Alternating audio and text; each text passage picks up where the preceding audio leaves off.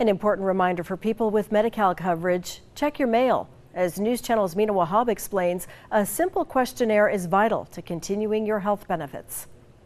Between 30 to 60,000 people here could lose Medi-Cal coverage if they don't answer a survey coming to check qualifications. During COVID, that survey was suspended so healthcare would be available to as many people as possible. The annual renewal process um, has resumed after the lifting of the public health emergency.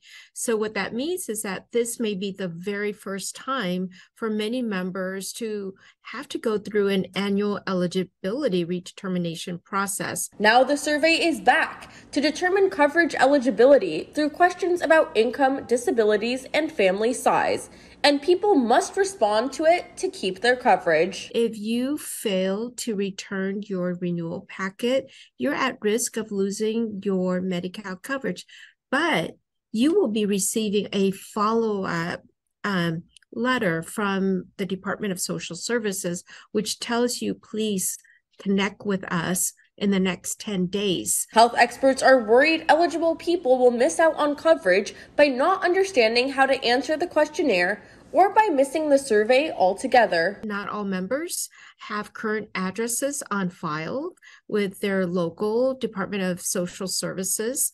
Um, and there may be language or disability barriers as well. Medi-Cal recipients have 60 days to return the survey once they get it in the mail.